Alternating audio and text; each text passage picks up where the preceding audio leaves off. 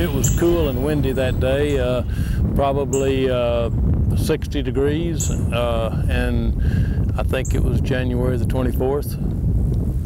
I was about 50 yards away and I saw something look very strange that I had not seen before, and we plowed these fields recently, and uh, I, I knew it wasn't here when we had plowed the fields.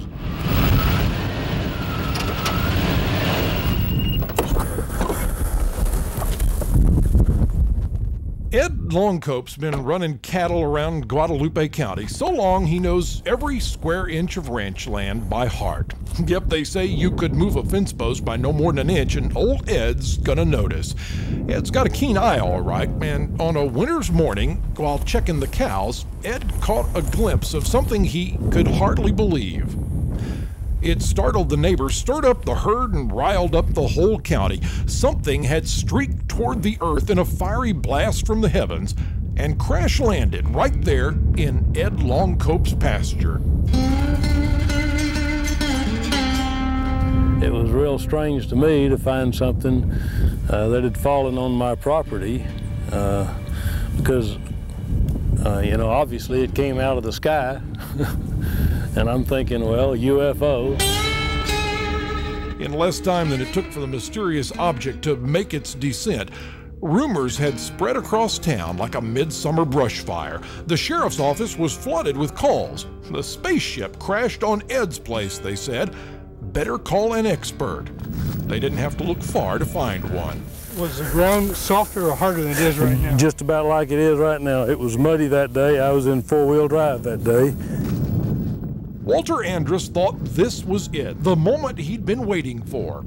His chance to see for himself a real UFO. what he found was a spaceship, all right, but it was built right here on Earth. What the folks of Guadalupe County had seen was part of an old rocket, American space junk, that had fallen out of orbit and into Ed Longcope's pasture. But for Walter, the quest goes on.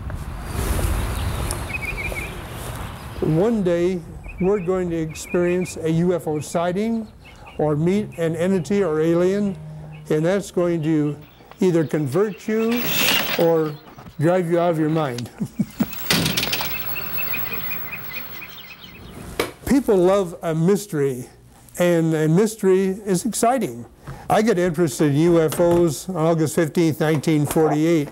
My wife and son and I saw four objects flying in formation over downtown Phoenix, Arizona. And ever since then, um, I've uh, decided to get deeper into the subject.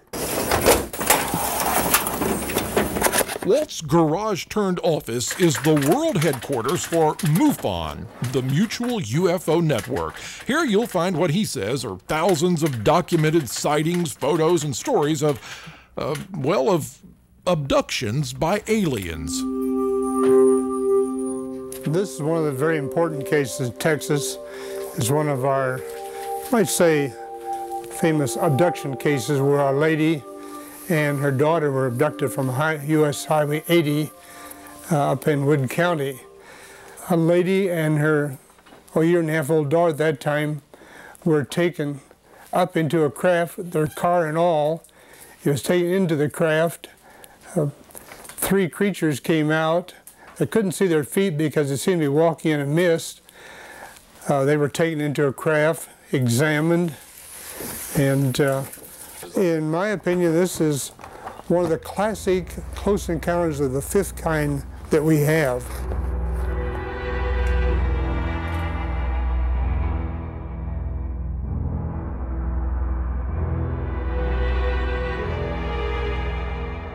We'd have to be egotistical to think that we are the only ones in the universe.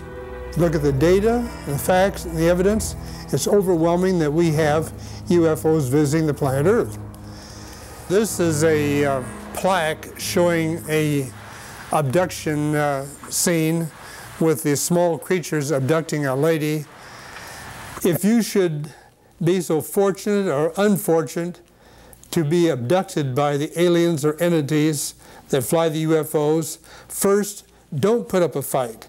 Second, remember all the details that you possibly can of the event. And third, call me.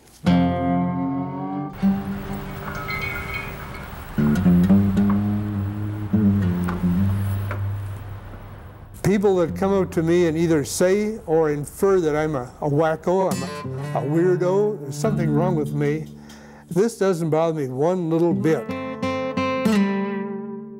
In a way, I would like to be abducted, but I think at this stage of the game that it is highly unlikely. I guess I'm too old and they don't want me, even though I would like to go and take a trip on a UFO.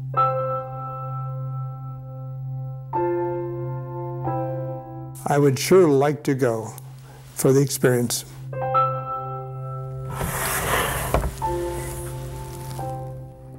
Been better than 50 years since Walter Andrus first saw something in the sky, something he could not explain. Since then, he rarely takes his eyes off the heavens. Walter has heard a lot of tales, and he'll probably hear some more. But he is a guy who's there to listen if you ever need to tell somebody about a UFO landing in your backyard. As I walk up and look at that beautiful blue sky, you wonder just what is out there? Who is out there? Are they watching us now? That's what I think about.